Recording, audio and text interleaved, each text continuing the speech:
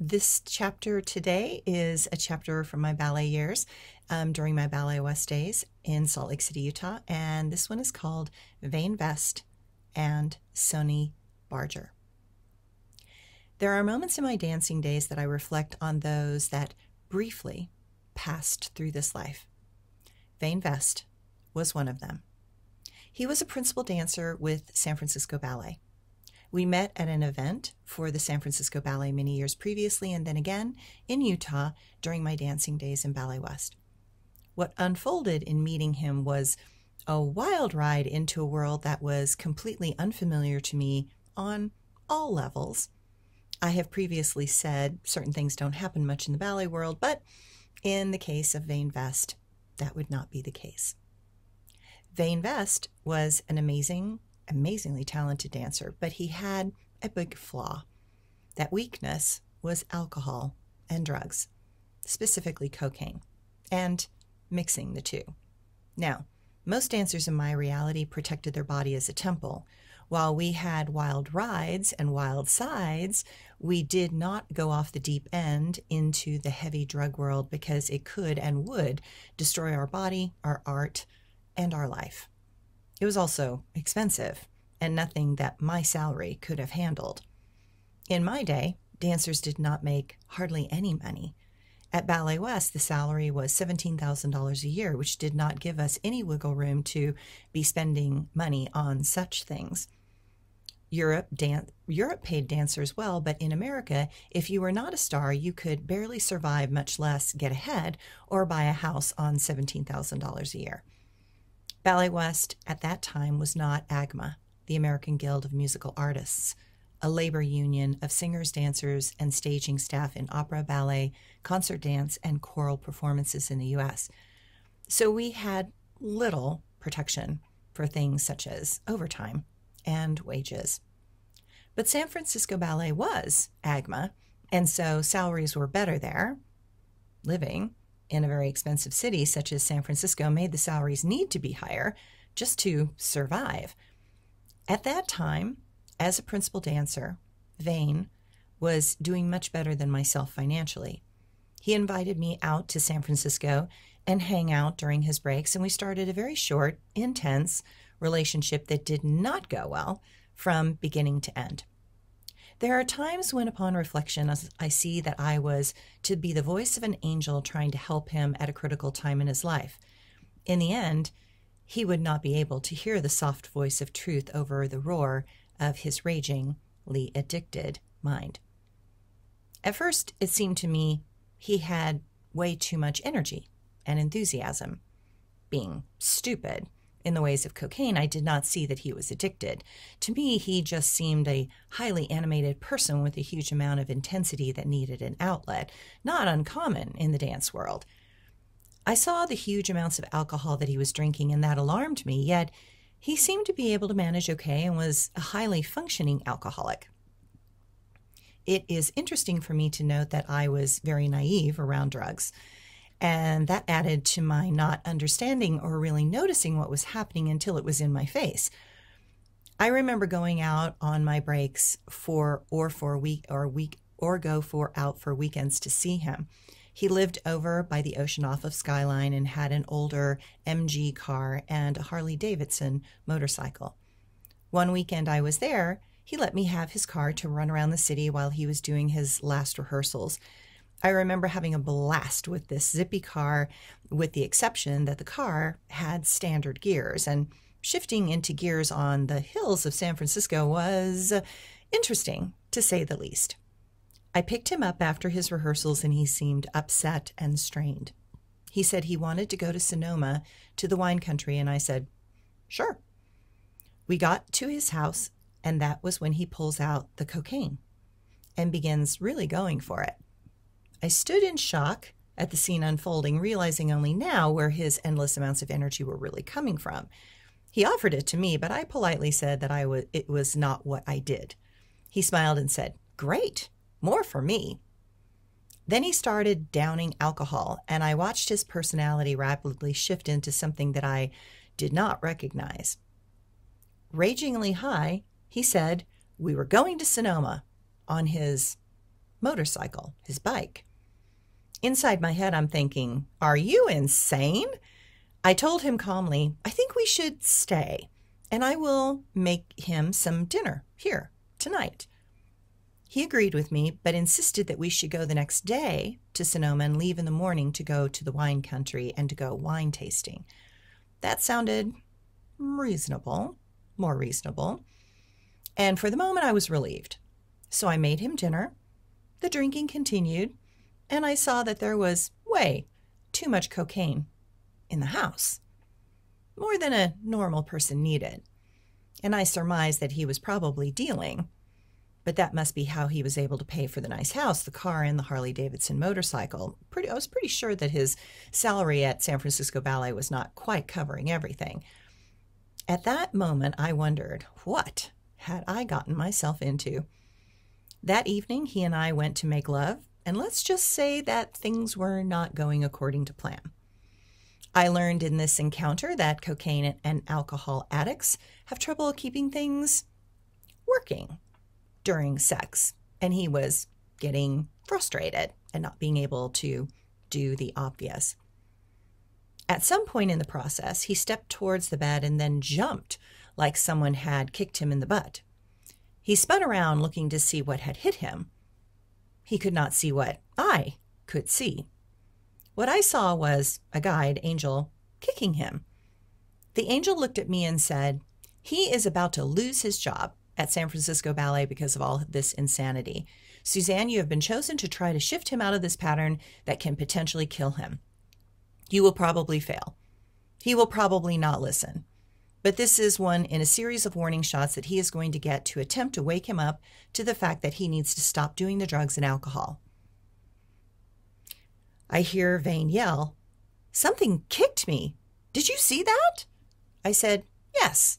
And I told him what the angel guy said. He stood there with a shocked look on his face and said, Are you shitting me?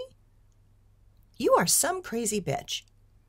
And I said, Nope, crazy, just psychic. This guide clearly did not like him and was making it clear to me and him that he was very off. Vane stormed out of the room, and I let him disappear in his dust cloud of cocaine, and I went to sleep. The next morning, he was saner and more open to a deeper conversation. He admitted that he had been called in that day to the office in, at San Francisco Ballet and that the director had given him a warning that his behavior was out of control and that they wanted to send him to rehab, which he refused and was not going to do. I tried to jokingly say, instead of wine, women, and cocaine, perhaps it, it is better to have wine, women, and more women. He laughed at my joke but still did not grasp the seriousness of the confrontation that happened the day before. He was clearly in denial and avoidance. He did ask more about my psychic abilities, and I gave him answers that he could absorb after an evening of drug and alcohol induced delusions. It was clear that too much detail would escape his current level of awareness. He said, Let's go to Sonoma on the bike. I agreed, believing he was more in control of his faculties. I got ready and we went down to the garage and got on the on his Harley Davidson and off we went across the Golden Gate Bridge to wine country. It felt great to be on a bike again. We had dirt bikes when I was a kid and I loved the feel of the wind in my face. We get to Sonoma and start going to different wineries and doing wine tastings. Quickly, I realize once again the rapid onset of his addictive behavior. Just when I start to be concerned about him driving on his bike with me on the back, he pulls out a bag of cocaine and takes a hit. Now I'm really concerned.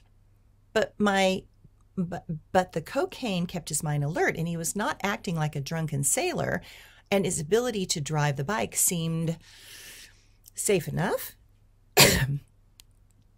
I asked the angels to put a bubble around us and protect us from all this craziness, and I felt that bubble envelop us, and for the moment, I knew we were safe. We end up back in San Francisco at the end of the day. He wants me to get dressed as he is going to take me to dinner. So I put on my burnt orange strapless jumpsuit and I get into the MG and go out on the town. Well, He does not take me to a nice restaurant, but to a bar. It looks like a biker bar, and there are a lot of Harleys outside. I am glad we are back in the city in one piece, and if I need to, I can take a cab back home to his house. We go into the bar, and as soon as we get there, he goes up to some guy, clearly a dealer, and they disappear into the back somewhere. I am sitting alone in the booth by myself, wondering if or when he's going to come back. Knowing full well that he is getting high, I begin wondering what I can do to get home in one piece without causing some big scene. That is when a burly, bearded biker guy with a Hell's Angel jacket comes up to me and asks if I am here by myself. And I said, No, I am here with my boyfriend. He asked, Who is your boyfriend? And I answered, Vane Vest. He smirked and said, Why are you with that loser? I had to laugh. I nodded my head, and I had to agree with him. I said it was pretty new, and I was just realizing the situation. He offered to buy me a drink and sit with me because otherwise I was going to be prey for all the other bikers in the bar. I agreed, and he orders some aperitif that was delicious, sweet, fruity, and not so strong that I was going to feel drunk. He said that he had the bar keep this bottle for him for special moments. I laughed and said, Moments like this to impress some naive girl, right? He nodded, saying, You got that right. He sits across from me and we start talking. He was very intelligent and smart. He could clearly hold a conversation and was polite not pushy, and calm as a cucumber. At one point, he says to me, Do you want to dance? I never refuse a chance to dance, and I said, Yes. We started dancing to the music, and my orange jumpsuit at the top starts to slip down, and I have to keep pulling it up. Finally, with a twinkle in his eye, he says, Oh, honey, please don't keep pulling that top up. I had to laugh. We go back to the table, and finally he says, You don't know who I am, do you? I said, No. He extends his hand and says, Hi, my name is Sonny Barger. What's yours? I tell him, and he is looking at me to see if something registers. Clearly, he was expecting me to react to his name, but I honestly did not recognize his name, nor know who he was. He sits back smiling, surprised, but oddly content. He keeps measuring me and my responses. I now see Vane in the background talking to one of the other bikers, and something is being negotiated. I am clear that he is buying more cocaine or something of the sort. Sonny sees me observing the interaction calmly. He says, Vane is going to be useless for the rest of the evening. Do you want to go for a bike ride with me on my rigid framed Harley? Now, even I know what that means. A rigid framed bike is an older style of bike that one feels each bump in the road. Honestly, it's like sitting on a vibrator. I knew what his intentions were. I smiled and politely refused, letting him know with my eyes that I knew what he was up to. His boyish grin said it all, and he shrugged his shoulders, saying, I couldn't resist giving that offer a try. And he handed me his card and said, If you need anything, just give me a call. I will remember your name. Someone will find me. I thanked him, but knew that using that number was never going to be an option at any point in my life. I could see the power in the presence, the confidence in his manner, and the eyes that were quick to notice all things happening in the room. He was a Hell's Angel.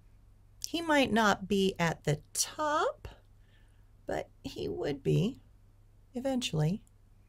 Even I could see the energy that moved around him.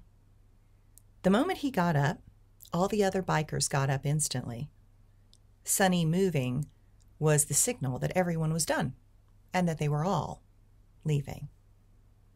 I had one more encounter with Vane months later, and I will tell that in another story. But it was clear that the that the world it was clear that the world that Vane was leaning into was going deeply into the dark side of the Force, and that was a place that I did not need or want to go. I knew that I could not save his job or him. I knew he could not stop doing what he was doing and that the ballet company would fire him, which it did months later. It was clear that his path was not mine and that I was to let him go. It was not my job to save him, nor did he want to be saved.